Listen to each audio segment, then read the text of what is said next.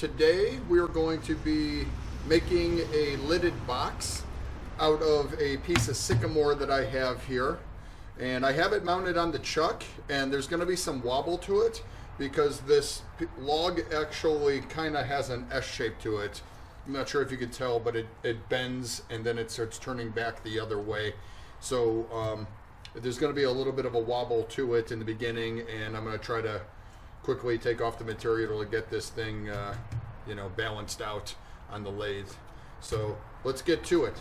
To round this out, I'm going to be using my bowl gouge, and um, I may be using my um, carbide tip square tool too as well. Um, but I'm going to try to do it all with the bowl gouge. We'll see if I need the other tool.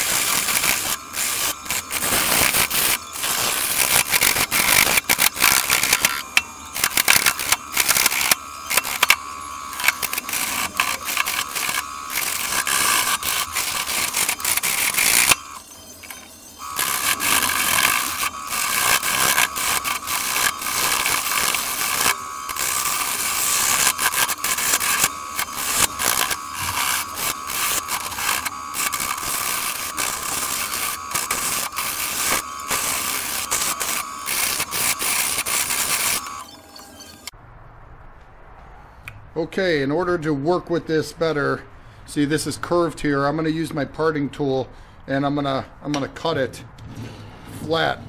I still don't own a, a bandsaw to break down my logs easier, so this is the way I have to do it for the time being. So here I go.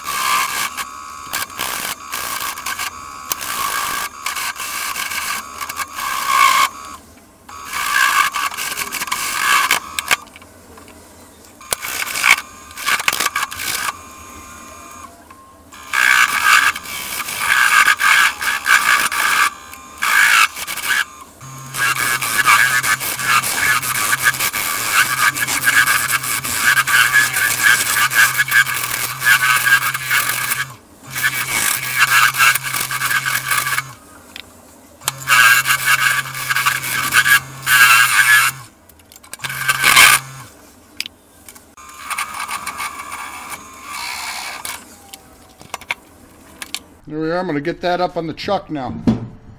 Do the same to the other side. Okay, we're back. I have it mounted up on my chuck and I turned up the speed just a hair. Um, that way I'm going to get nice cleaner cuts. And I have this thing almost perfect. Um, it mounted back on the chuck almost perfect. I am going to really quick Just uh, make sure I uh, true it up really fast. And another thing I want to point out is why I kept on going to my uh, carbide tip um, chisel is because this is about the uh, depth of my chuck. So I knew my tenon should be about that that uh, thick, and uh, it will work out perfect to hold on here. So that's what I was doing, and then I was using my parting tool to cut off the extra. And we're basically, I'm going to uh, true this up again, just make sure it's perfectly round, and then we're going to knock this, how it's slanted, we're going to knock that off. So I'm going to cut it right in about this area or so, and then we'll start shaping and forming our box and cut the lid off. Um, the lid's going to be about a third of the rest of it. So I have an idea of the shape I want and, and what I'm going to do. So um, we'll start with this though. I'm going to true it up really fast.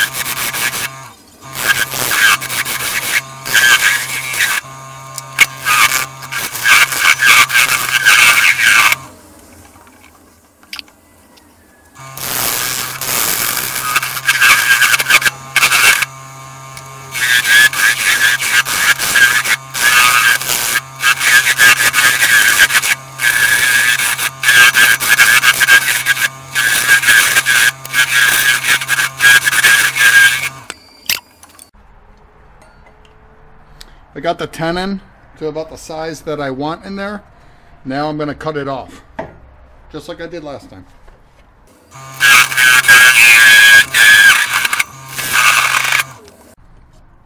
Before I almost have it there, but before it comes off, I'm going to slow down the speed of the lathe so this thing doesn't fly off and hit me.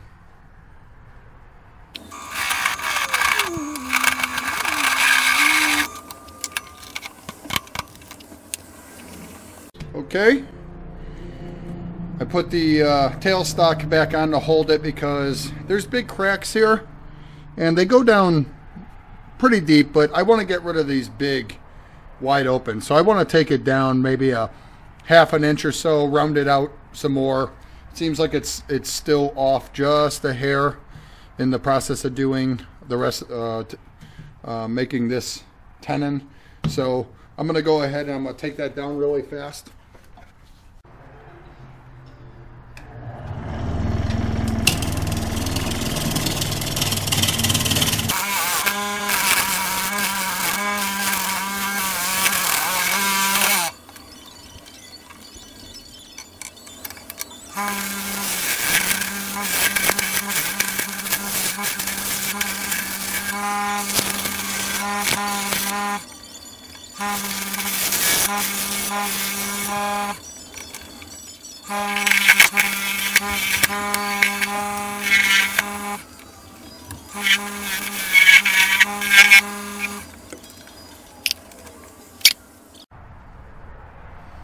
Alright, I have it all trued up, but I still want to go down a little bit more on here.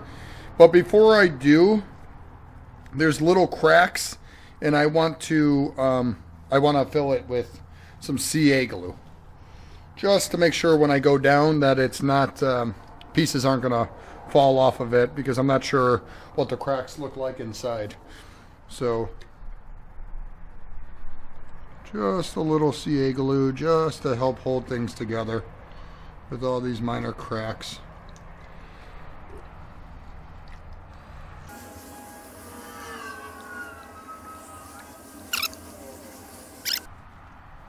Alright, the glue's all dry. Now I'm going to take off. I like this knot here, so I'm going to try to keep that for the bottom. And I'm going to cut off for the for the lid. Probably about right here so. Let's do that.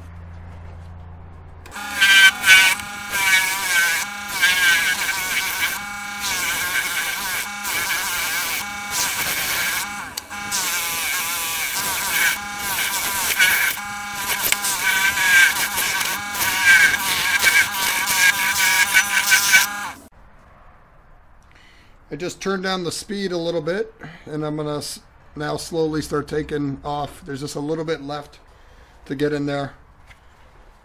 Let's part it.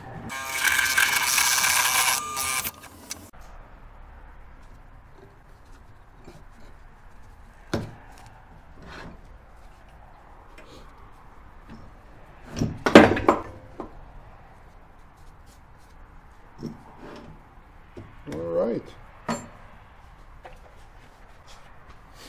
There we are. Now let's start uh, carving out this inside.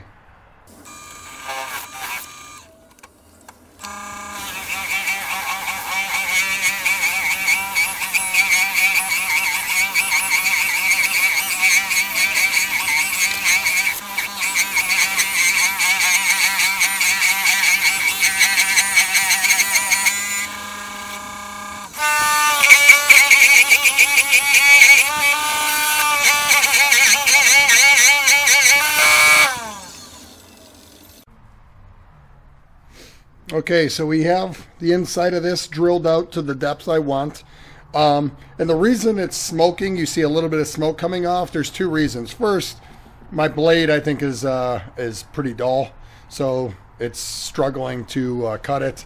And then second of all, I think this wood is still kind of wet, so um, it's kind of adding to it. Some of its steam and everything else coming off of it. So those are my uh, those are the two reasons. Now it's time to do the same thing. This is the bottom. Now I'm going to uh, drill out the same uh, for the lid.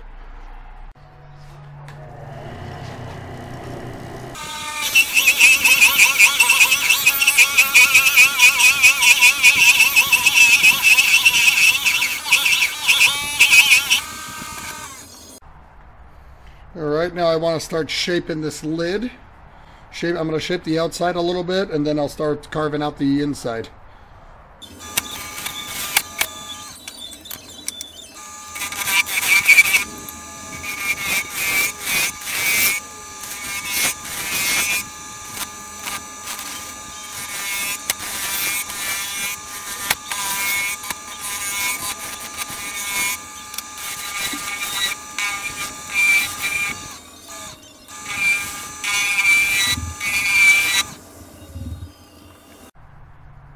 Okay, that's good for now on the outside.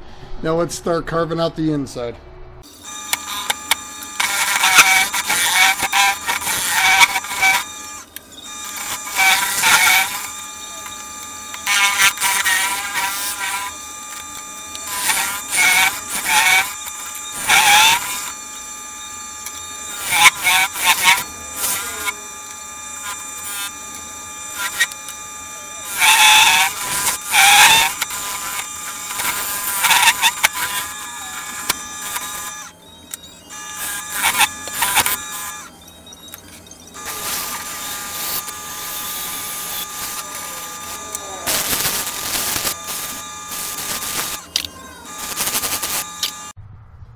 So here we are. I have the basic shape of the lid and I have it sanded down on the inside here. Um, I'm going to wipe it down with some uh, mineral spirits to get all this sawdust off of here. And the outside's not exactly finished. I still want to to make a, a, top on there, but I'm going to turn the tenon into that uh, into part of the lid. So in order to do that, we need to make our bottom and get it connected together, and then I'll work on the rest of it. So let's start on the bottom part. All right, so we got the base mounted up on here. And I do want to point out the, the, the top had some minor little cracks in it, so I uh, threw some CA glue. Like I said, I'm not too worried because it's not finished yet on what I think I want to do. So the first thing I want to do here is to make a little lip here where this will fit on nice and snug before I start shaping this outside. So let's go ahead and get that started.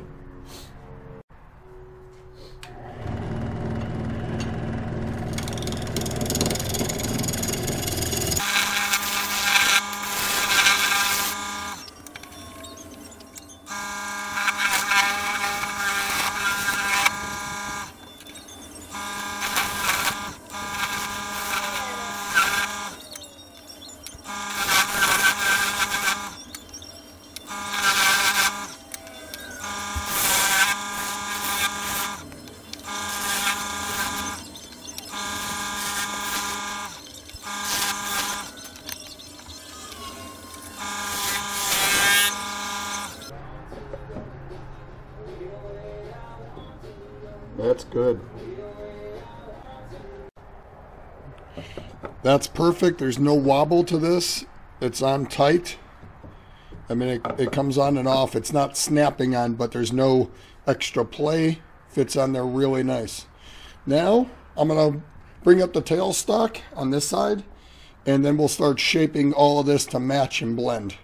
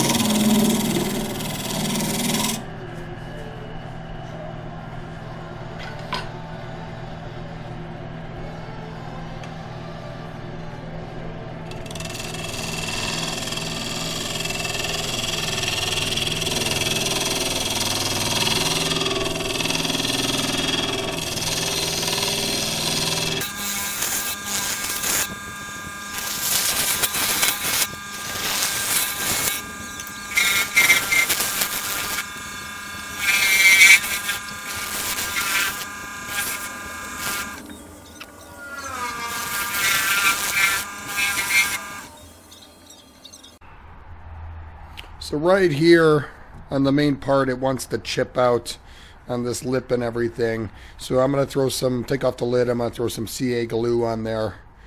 And then, but everything's matching up really nice. It looks pretty good. I think, I don't know, I keep on thinking I want to do something down here. We'll see. We'll see how much room I have to play with. Alright, I just decided right now I'm going to try to do a bead here a bead here, so it'll be a double bead, and then one big bead down here. We'll see how that looks. Maybe with an indentation right here. Let's try it.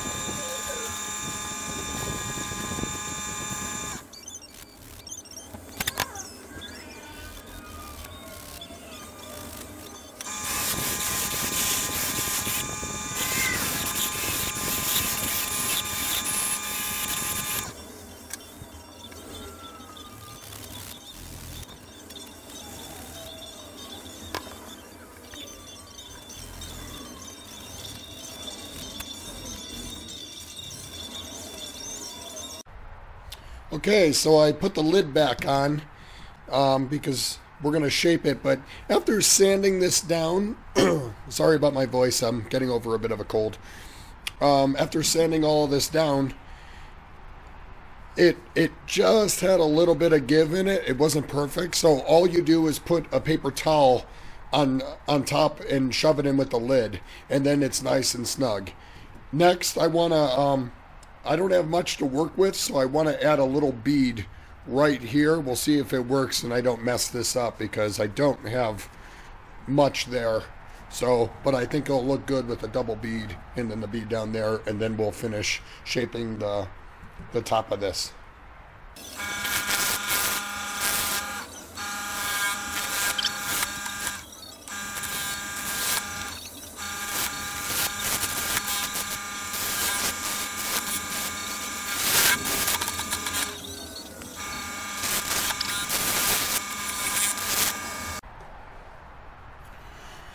So I got a catch and ooh, I put a nasty groove right there. That's going to take some to clean up. And right there, nasty chisel mark.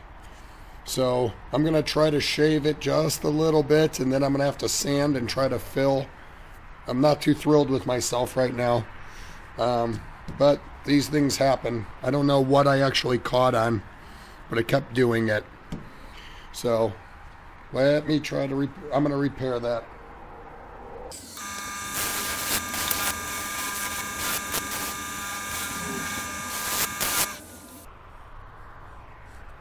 That one, that one's mainly gone. This one I really did good. I might try sanding with a 100 grit sandpaper, see if I could get it out.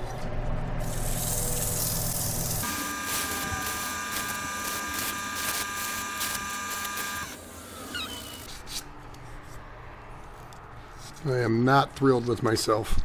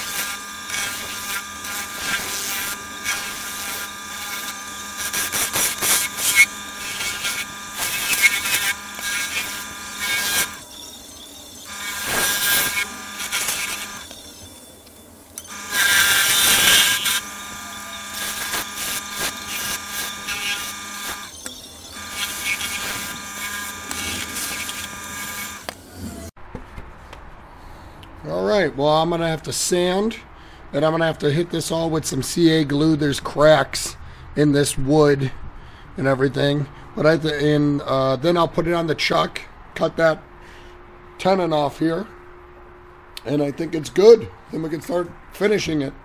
Um, I'll next we'll hollow out this inside, so we're almost ready to go. Okay, the project, I, I, sanded down on the outside. Now I want to hollow this out on the inside. I'm going to use my carbide tool. And I actually want, on this one, I just want my walls straight. I don't want it curved like a bowl. I want, I'm just going to bring this in and just keep on take it off until about there. So I want somewhat thicker walls. So let's do this.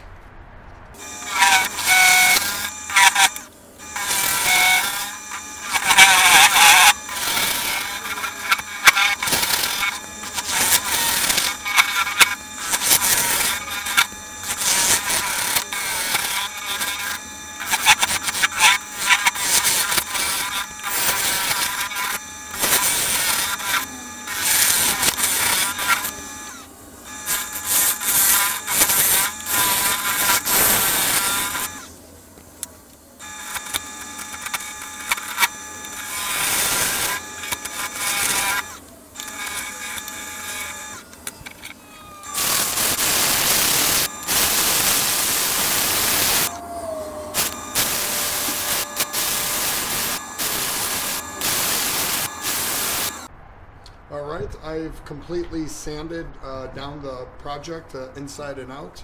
And next what I need to do is take off the tenons off the lid and the tenon off the back. Um, so we'll do that next. And then after I'm done with that, I'll go ahead and I'll hand sand it and cover it with a few coats of tung oil and I'll finish it on the buffing. But um, I don't think everyone needs to see that again. Um, if you need to see how I buff out my projects, go check out some of my last videos. Um, I show it. Um, one thing I do want to point out though is, is I had a little catch on one of my beads here, and I want you to know I purposely leave that in the video so you could see that um, accidents happen. I mean, everyone catches a, you know, gets, uh, gets a catch every once in a while. And, and I mean, I could edit it out and make myself look like a genius with my chisels, but everyone makes mistakes. And the whole point of these videos is to see, um, okay, so I got a catch. How did I deal with it? You know, I had to go back and round out the two beads to make a match. And, um, So that's the whole point of this is to hopefully make you think and, and inspire. I mean, I could sit here and edit all my videos where everything's perfect, but I want everyone to see that nobody's perfect. Everyone makes a mistake. So um, I purposely left. it. I'm leaving that in. So um, that being said, next let's go and take off the tenons.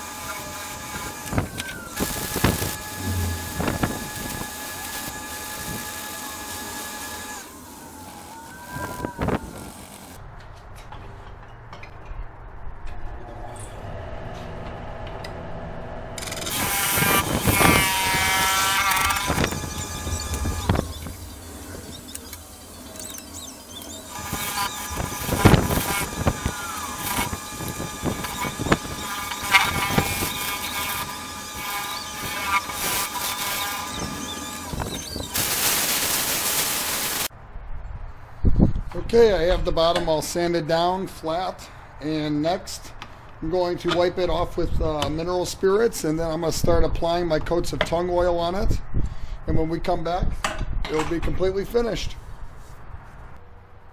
Well here we are, one Sycamore box complete. Uh, it took a while to get done but uh, it's done.